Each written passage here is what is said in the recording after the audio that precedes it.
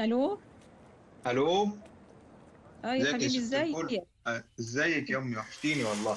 عاملين إيه ازيك كنت انت لسه على حبيبي بالي. عامل أخبارك إيه يا حبيبي؟ فينك؟ ولا على بالك ولا على حاجة؟ لو كنا على بالك كنت اتصلت بينا حتى تقول لنا كل سنة وأنتم طيبين في رمضان. آه أنت عارفه رمضان ده أكتر وقت أنتوا بتوحشونا فيه يعني. أنتوا وسفرتكم وفطاركم وسحوركم سفرتنا. مم. طبعا يا حبيبي سفرتنا وحشاك. حتى بالأمارة النهارده كنا عاملين نسقع عمالين نقول فينك تاكل منها. أنا أنا هعمل اللي أحسن منهم النهارده إن شاء الله. أنت كمان اتعلمت الطبخ؟ امال أنت فاكره إيه؟ بس يعني مش علمتش قوي يعني هي اما يبقى معاك وصفة وتمشي عليها خطوة ورا التانية ورا التالتة مسيرك توصل يعني. أكيد مش هتطلع حاجة وحشة. وطبخة إيه دي بقى اللي هتطبخها إن شاء الله؟ آه، زرباجة السفرجل نعم. زرباجة السفرجل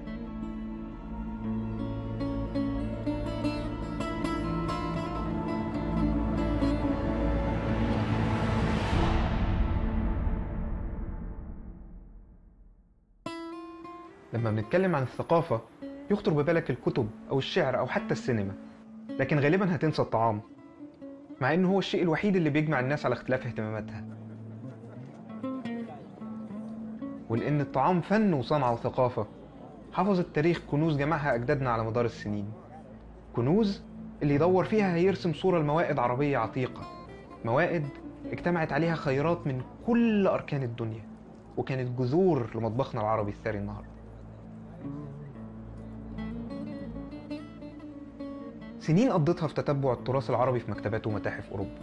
سنين مليانة مشاعر مختلطة ما بين الحسرة على فقدان التراث ده والسعادة في كل مرة بوصل فيها لاكتشاف وجه جديد منه.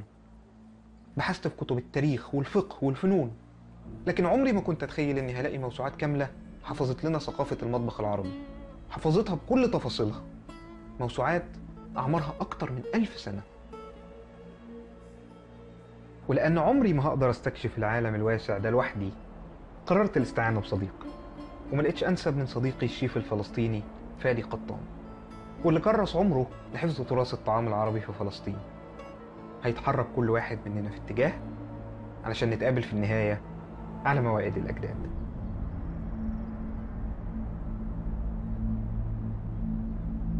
أقدم كتاب وصل لنا من أدب الطبخ كنوع من أنواع الكتابة ونوع من أنواع التدوين آه، ووصل لنا من القرن العاشر الم- الميلادي تقريبا من الفترة التالية بشكل مباشر على ما يسمى بالعصر الذهبي للدولة العباسية. العباسية. انت حكيت معي على موضوع المخطوطات المطبخ العربي بشكل عام. آه، صار عندي أنا فضول كثير آه، أكتشف شو هالتاريخ اللي إحنا أنا بطبخه اليوم بس شو أصله؟ بداية الرحلة كانت أبعد ما تكون عن العالم العربي في أقصى شمال أوروبا في مكتبة هلسنكي عاصمة فنلندا وجدنا أقدم مخطوطة لكتاب عربي في فن الطبخ. الكتاب عنوانه الطبيخ وإصلاح الأغذية. وبينسب لكاتب اسمه المظفر ابن نصر ابن سيار الوراق.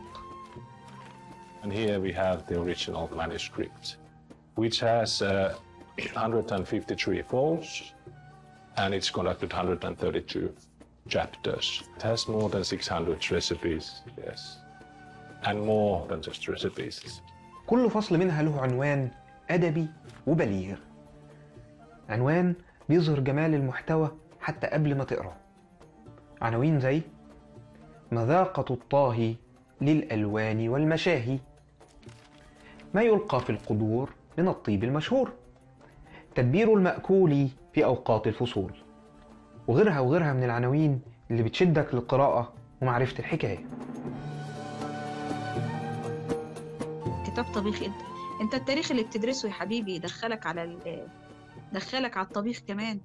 هو طب هو التاريخ لازم يكون حروب وانقلابات و... ومذابح. ما ممكن يبقى التاريخ حاجة لطيفة زي الأكل والشرب. هذا الكتاب كتاب مدهش جدا لأنه هو ليس فقط كتاب طبخ وإنما مثل ما كتبت أني كتاب Delights from the Garden of Eden جزء وصفات وجزء أشياء أخرى تخص بالحضارة Alors oui, c'est un ouvrage unique en son genre, puisque euh, même s'il existe d'autres livres de cuisine euh, écrits en arabe au Moyen Âge, Mm. que ce soit en Syrie, en Égypte ou même plus tard aussi en Al-Andalus Mm. ou au Maghreb, euh, la différence c'est que c'est un ouvrage en fait qui s'approche plus de l'adab dans sa composition, dans le sens où il va combiner euh, des recettes de cuisine, euh, des poèmes, des anecdotes. Il va aussi combiner des conseils médicaux, des conseils d'étiquette, ابن سيار الوراق ظاهر يعني نعرفه من المقدمة التي الذي التي كتبها للكتاب أنه آه، آه، آه، أحد طلب منا يكتب كتاب يشمل يعني شامل لجميع ما كتب في آه، آه، ما يعرف عنه في ذلك الوقت عن مطابخ الخلفاء عن الكتب في ذلك الوقت عن الكتب الطبية اللي تتعلق بالطعام Le projet, c'est de donner trace de la cuisine des personnes euh, de l'élite. حتى بهذه الوصفات يذكر أنه هذا الوصفة من نسخة فلان خليفة هذه من نسخة آه، إبراهيم بن المهدي مثلا. هذه من نسخة آه، إسحاق بن إبراهيم الموصلي. ويذكر الأسماء. وهذا طبعا هذا كلش آه، فد شيء آه، ثمين بالنسبة لنا القصايد مثلا آه، 80 قصيدة منها قصايد مثلا يذكر طبخة ويذكر وراها أبيات من الشعر. توصف الطبخ بطريقة أخرى بطريقة فنية. ذاك الوقت طبعا ما كان عندهم كاميرات فهذه طريقتهم يعني لإبراز جمال ال- ال- الطبخة بهالطريقة هذه. هي بمثابة الكاميرا اللي إحنا عندنا اللي نسوي نسوي بيه food photography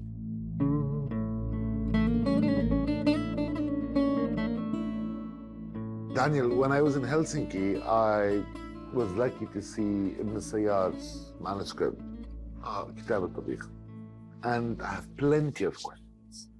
But the first is, was, was cooking really reserved to the kings and the nobles of the Abbasides, or was it more of a something everybody enjoyed? Um, that's that's a good question, and I think the answer to a certain degree lies with the manuscript itself, with the text. We have very detailed information, very useful and very interesting to a chef like you yourself, where they list all of the things in well, food, mm, but many other things. But we restrict ourselves to food. All the dishes that were made and sold at markets, and in fact, it's all of the kind of hot meals, the harisas, yeah. the um, um, kebabs, uh, or, or the equivalent. And there we're reliably informed, what they reliably inform us, that most people would be eating out. Out. لو رجعنا قرون شوية لبغداد في تلك الفترة ممكن نتخيلها تاريخيا حسب المصادر الواردة إلينا أنها كانت مدينة تعج ب- بالنشاط والحيوية والتجارة حتى إن يقال أن الغرباء في بغداد كانوا هم التجار اللي بيأتوا من كل أقطاب الدنيا آه، إلى تلك المدينة العامة لذلك أطلق على هذه المدينة سرة البلاد أو أم الدنيا في وقتها لأنها كانت هي آم، المكان الذي يصل إليه آم، كل من يريد آم، تجارة أيضا المعرفة العلم وما إلى ذلك Les produits vont arriver jusqu'à Bagdad et euh, de fait euh, aussi euh, bah, un certain nombre de savoir-faire, en particulier culinaires, qui vont arriver aussi euh, jusqu'à Bagdad parce qu'on a fait de Bagdad euh, ce nouveau carrefour commercial mais aussi culturel. Il a été voulu par les Abbassides et de fait Bagdad est devenu ce carrefour culturel et euh, ça va être le lieu où, va se- vont se rencontrer différentes traditions, euh, traditions culinaires mais traditions poétiques. في مجتمعاتنا الحديثة كل ما بترتفع مكانة الفرد ومركزه كل ما بيبعد عن ممارسة الطبخ بحيث يبقى من وجاهة الإنسان إن يبقى عنده شخص أو موظف كل وظيفته إنه يطبخ له. لكن ده بيثير تساؤل غريب. ليه في العصر العباسي كان فعل الطبخ فعل بيقبل عليه الخلفاء والأمراء والملوك؟ فعل كان بالنسبة لهم حلبة بيتسابقوا ويتباروا فيها. طبخ كان شاغل الجميع كلهم مهتمين به. بس بس بالاخص طبعا ال- ال- ال- الخلفاء والوزراء والندماء ال- كان اهتمامهم بأنه مو ناحية أنه بس الأكل وإنما فيما يتعلق بالأكل. كانوا يجلسون مثلا يأكلون أكلة وي- ي- ويالفون قصائد حولها. كانت كنوع من التسلية لهم.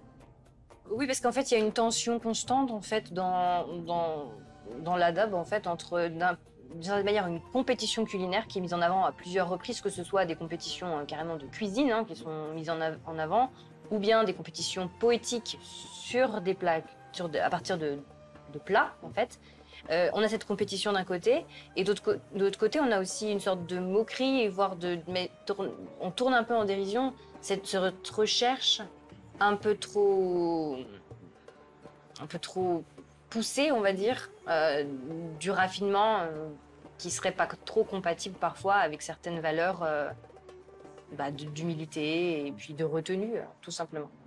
ايضا ناحيه ثانيه انه يقول انه آه، ال- كانوا يطبخون بيديهم لانه يستنظفون اكلهم يعرفون شنو الاشياء اللي تدخل في طعامهم الايدي نظيفه فيحبون الأكل اللي آه، يراقبوه الأكل اللي يطبخوه بإيديهم.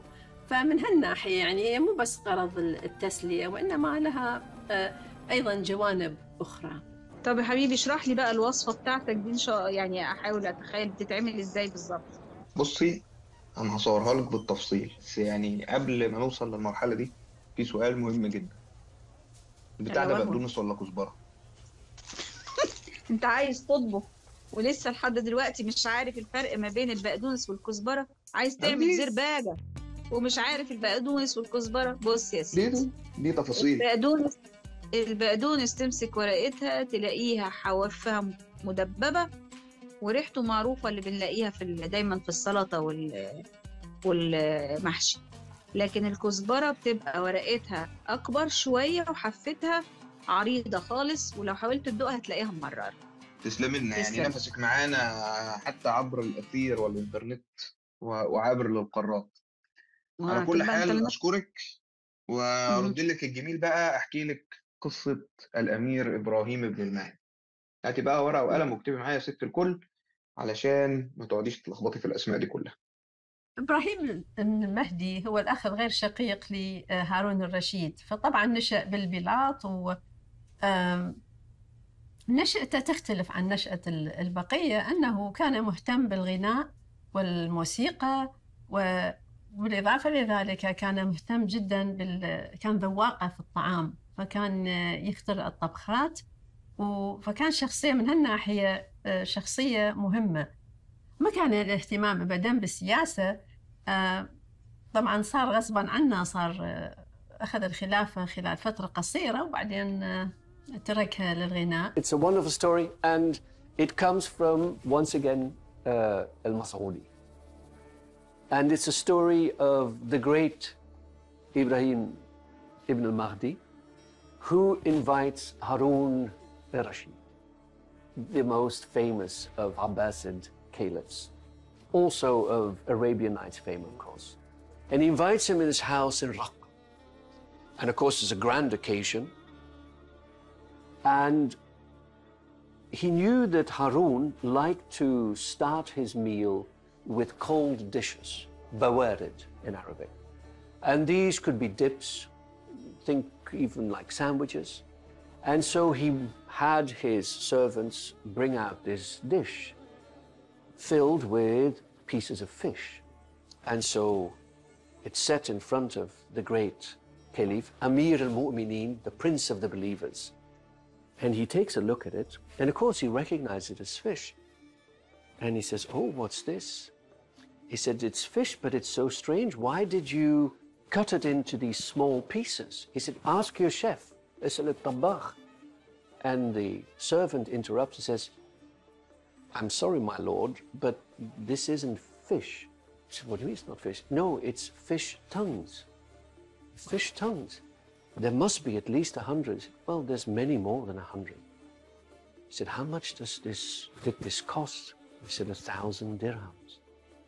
Harun was incensed And he became so angry with Ibrahim ibn al-Mahdi that he said, listen, I will not eat this dish. In fact, I want you to bring me 1,000 dirhams, which we will distribute as alms to poor people. Et heureusement d'ailleurs qu'on a euh, le Kitab al-Tabir euh, d'Ibn Sayyar al-Warraq, parce que comme ça, on a aussi une idée de ce qu'il y avait dans l'ouvrage d'Ibrahim ibn al-Mahdi. حبيبي مش كده حرام عليك أنا ما صدقت خلصت من التاريخ انت بالهنا والشفا على قلبك يا حبيبي بس اما تفطر عرفني. أما تعملها وتفطر تبقى عرفتي لو كانت حلوة أبقى أعملها وأجربها وأدوقها لبابا. السفرجل بتاعك ده أصلا هلاقيه فين؟ ما أعتقدش إنه موجود عندنا كتير. بصي السفرجل ده يعني ابن عم التفاح كده قريب الكمثرى.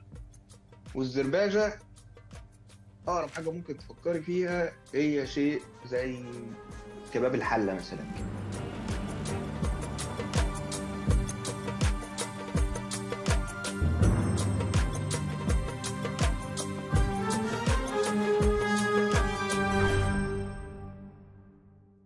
Al Waraq's uh, manuscript, the Waraq's text, I should say, gives us a, a wonderful insight into the broader cultural and social context of the time, particularly, of course, when we're talking about the upper echelons of society. And we find, for instance, the references to literature, um, references to social practices. And this, of course, automatically takes us to things like etiquette.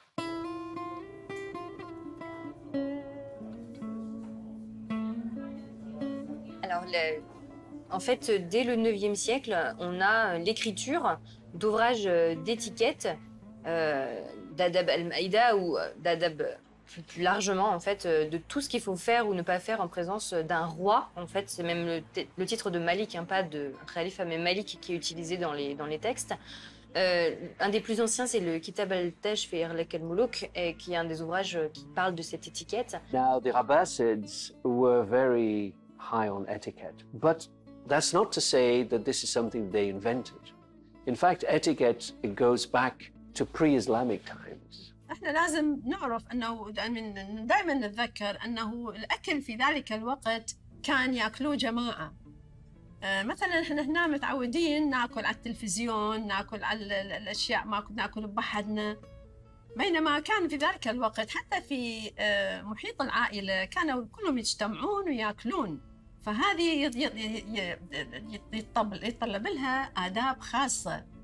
آه، لأنه لازم واحد يراعي البقية عندما يتناول الطعام.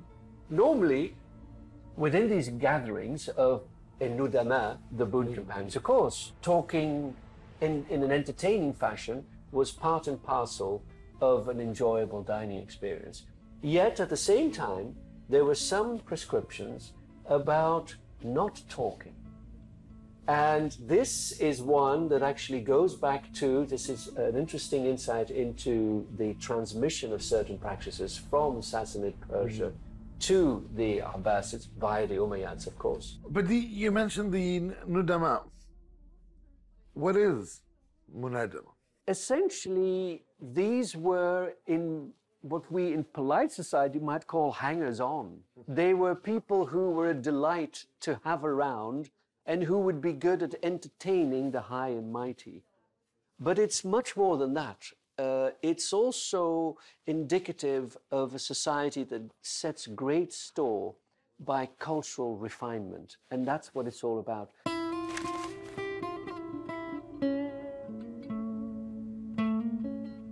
على ذكر أدب النديم وقواعده من الأشياء العجيبة اللي بتكشف عنها المخطوطة علاقة التنافس اللي نشأت بين إبراهيم بن المهدي اللي كان البطل الأول لفن الطبخ في الحضارة العربية وبين المطرب والموسيقار المشهور إسحاق الموصلي واللي زي ما نقلت المخطوطة وصفات لابن المهدي نقلت برضه وصفات للموصلي وإن كانت أعدادها أقل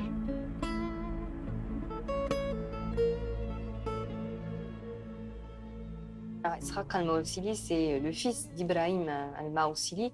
C'était donc un, un poète, un musicien euh, très important à la cour, hein, qui a été euh, présent à la cour euh, d'Haroun al-Rashid d'Haroun al-Rashid jusqu'à al-Mutawakil à peu près, et qui était notamment très proche du calife al-Wasik.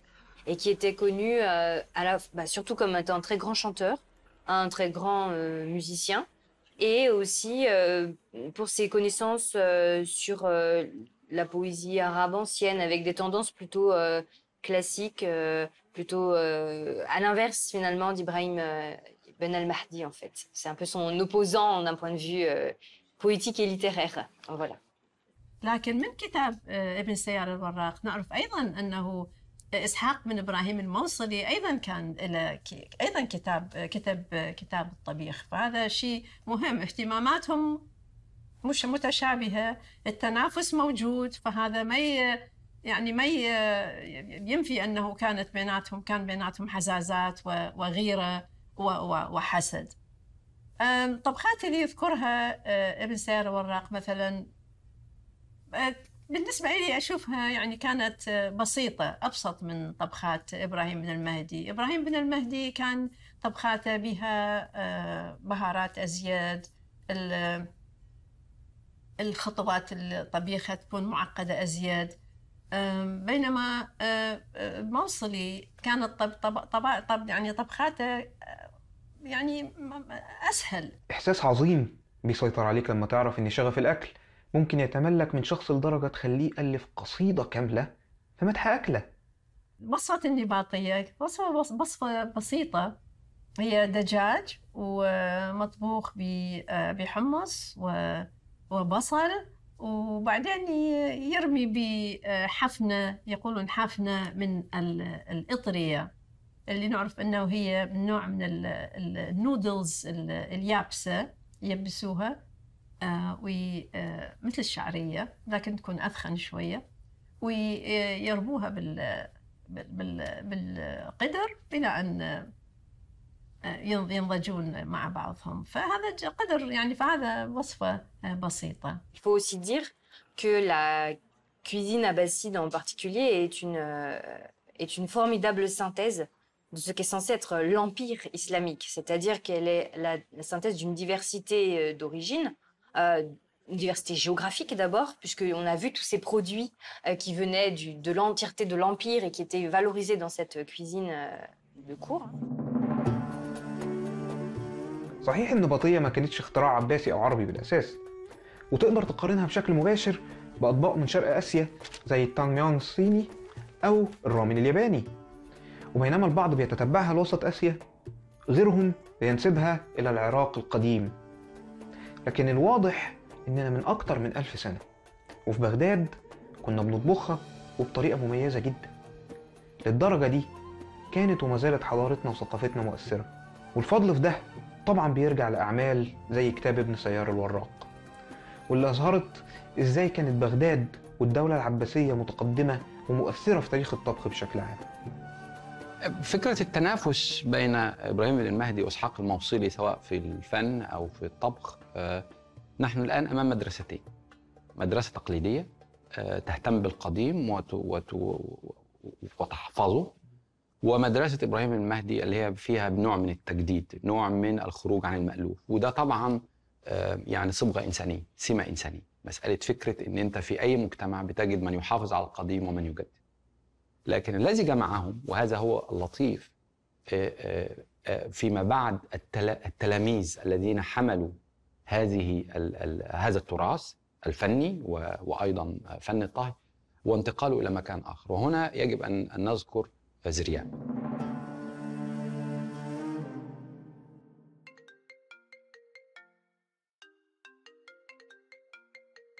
مساء الورد يا ست الكل. إزيك كده؟ قوليلي بقى تعرفي إيه عن زرياب؟